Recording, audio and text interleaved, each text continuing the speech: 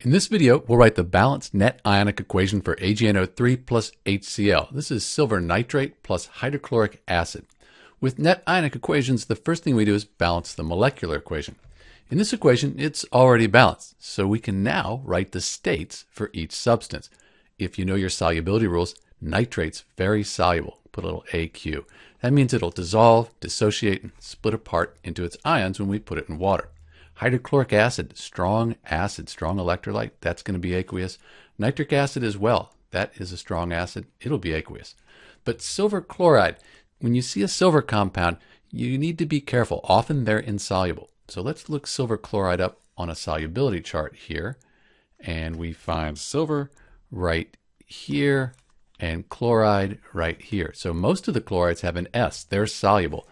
But silver chloride is insoluble. That means it won't dissolve in water.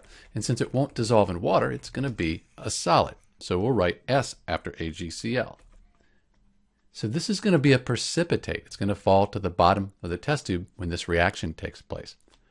Once we've written the states, we can split the strong electrolytes into their ions, and that'll give us the complete ionic equation. Silver is always 1 plus, and the nitrate ion is always 1 minus. Both are good to remember. So we have Ag plus and I'll write aqueous at the end. I won't write that now. Then we have the nitrate ion, NO3 minus.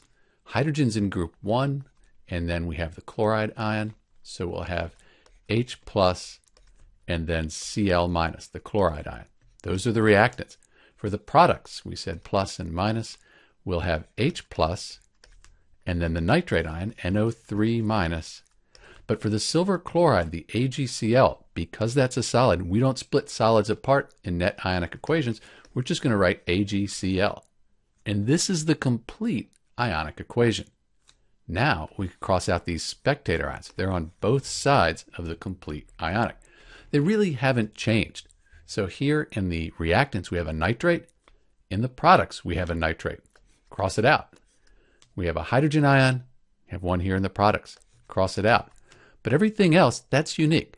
And that makes this the net ionic equation for silver nitrate plus hydrochloric acid. I'll clean it up and add the states in. We'll have our net ionic equation.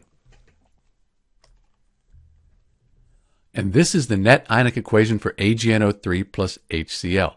You'll notice that the charge balances out. We have a positive and a negative. They balance out. We have a neutral product here. We also have one silver atom and then one silver atom here, one chlorine atom, and one chlorine atom. So that's balanced as well. This is Dr. B, and thanks for watching.